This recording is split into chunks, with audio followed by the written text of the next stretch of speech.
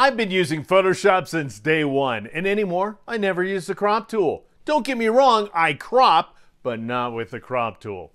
Let me explain. All right, let's start with a little bit of setup, just so this makes sense. So this happens to be an image I created in the most recent version of Adobe Firefly. I've also upsampled it, made a bunch of modifications. I, re I removed some JPEG artifacts, by the way which uh, I'm I'm coming to understand is something that is built into all of these AI image generators.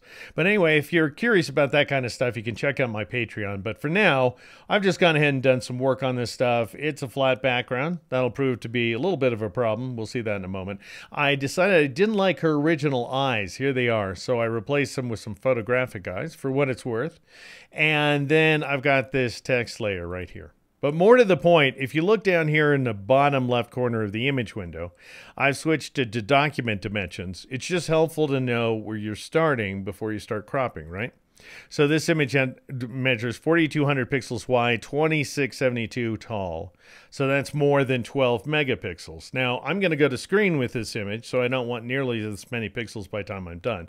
In fact, what I want, this these are the standard for YouTube thumbnails, but it's a good widescreen standard in general, social media standard, 1280 by 720 pixels good place to go. And it is 16 by 9, so widescreen, so that's awesome. Okay, so probably we we need to crop it. That there's no probably there. It's not the right aspect ratio currently. So you might think, well, use the crop tool. Thing about the crop tool is it's actually a lot of tool. There's a lot going on where this tool is concerned. It's quite messy it can get messy. It can damage your image quite easily, even if you turn off the one checkbox you already know to turn off. But it's disguised as a simple tool. And so that's the problem. And so I'll just go ahead and select the crop tool. And right now it's it's it's set to its default settings, which include delete crop pixels. Now, I think we can all agree that is a terrible default setting, Adobe. And it didn't used to be the default. They changed it. And again, it's this thing where they're just always trying to dumb down the software to make sure the newbies don't get confused. But the problem is that therefore they punish the new people. You know, it's just nuts. Anyway, so turn that off, obviously.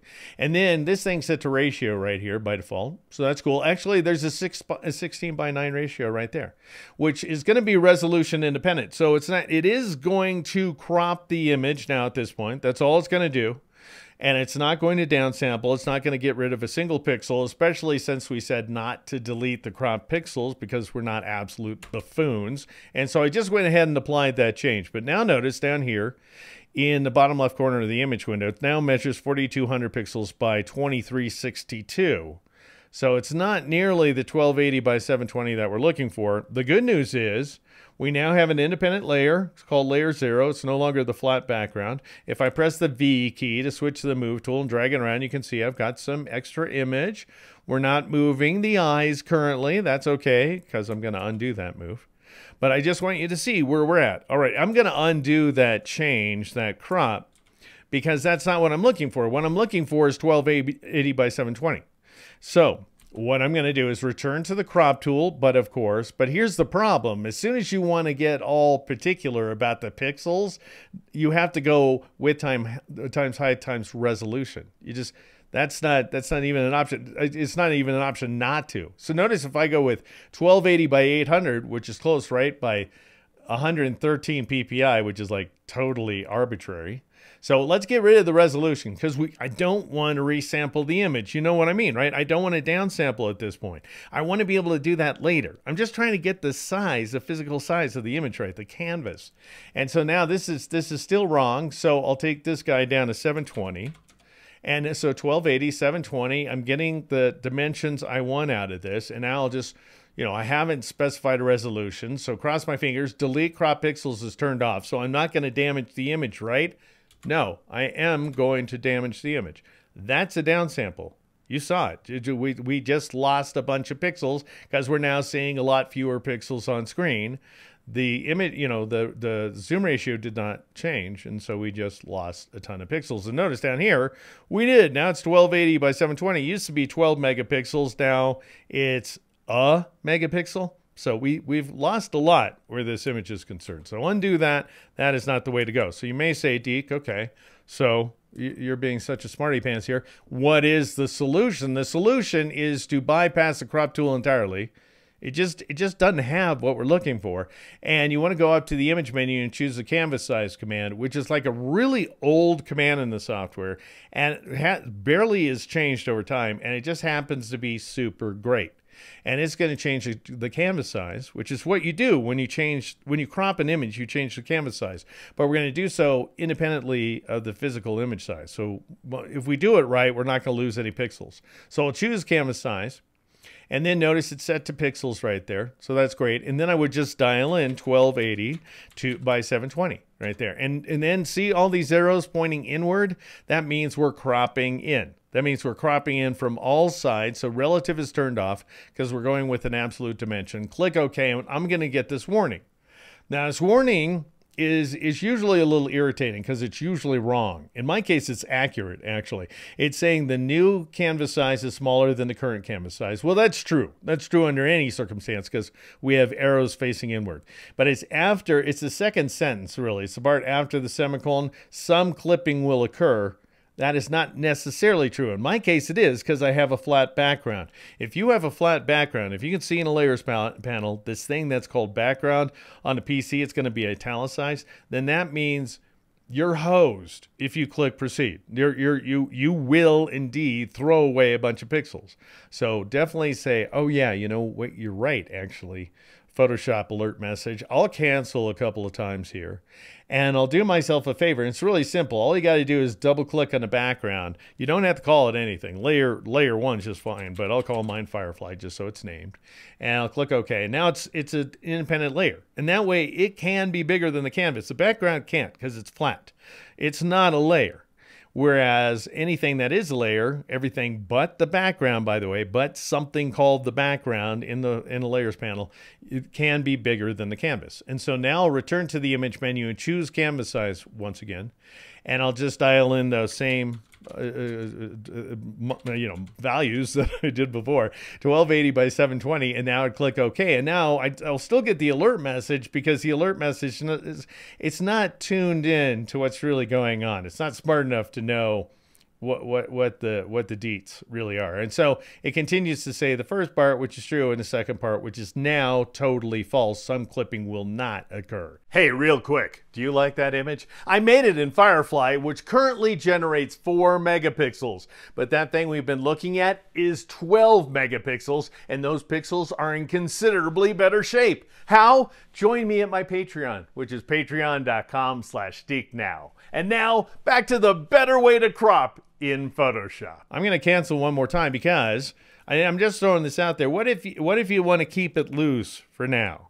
You want to make sure you got the aspect ratio right, and you want to approximately have the number of pixels right, but you want to give yourself, you know, some wiggle room. So it's, it's like, I, here's, um, I'll tell you what I'm talking about. I'm going to enter star two, asterisk two, for 1280, and that'll multiply it times two. And then I'll do the same thing with this guy times two and it'll just do the math for me. And now this is going to be four times as many pixels as I need, twice as many wide, twice as many tall. And now that way I can do some more editing after I'm done here and worry about the downsampling later, which I will do in just a moment. But now it's all arrows pointing in. Click OK. Don't care about this error message. Click proceed and I'm fine. And I now have exactly the number of pixels I want. Look down here in this area, the bottom left corner of the image window, 1260 by 1440, just what I want. I don't care. This isn't going to print, so I don't care about the resolution value. Does not matter. And so now all I need to do is just go ahead and you know, center the image and downsample or or change its size a little bit. Not downsample. That'd be the wrong way to put it. So I you know what I'm going to do is switch to the type layer right there and press the V key to switch to the move tool up here at the top of the toolbox. And the reason I'm doing this is so I can show you the, the type tool, the type that is, even though it looks like it disappeared, it hasn't. It's just off canvas. It just went outside the canvas. So that's a great thing about actual layers in Photoshop. They can be bigger than the canvas. They can be like out inside other parts of the canvas where you can't see them. I don't need this guy, so I'll just get rid of him. Pressing the backspace key. And now the eyes are showing up as selected. That's a function of this setting up here that says show transform handles. I, it bothers me, so I'm going to turn it off. That's up to you, of course. But anyway, here's the deal, right? Now what I'm going to do, because I want to finesse this stuff, I, I, I don't want her not centered. And I'm just going to be uh, well, you know, uh, simple. I'm going to be a simpleton and I'm going to make sure this image is exactly centered, as we'll see in just a moment. And I also want to downsample it a little bit. I want to resize it, but I don't want to change the number of pixels, so I'm going to shift click on Firefly. So both eyes and Firefly are selected. Rectangular marquee tool's active, so I can just right click and choose convert to smart object. And that way I'm putting everything in a protective container. So now I can resize it if I want to. And I can also physically, you know, modify its position, so forth. So the first thing I'll do is just zoom out a little bit. And I'll go up to the edit menu and choose free transform, control T, command T. Uh, there may be one or two of you going, yeah, Deke, but nowadays with the move tool, you could do this just as easily. Up to you, totally, if you want to work that way. I'm not even going to show you. It's just it's totally a personal decision where that's concerned. And so now I can down I can resize this image. I'm not downsampling it because I'm not really actually changing the number of pixels because they're all protected in the smart object. And notice that the width and height are something. I don't really care. They're locked together. That's what matters because I, I don't want to squish the image.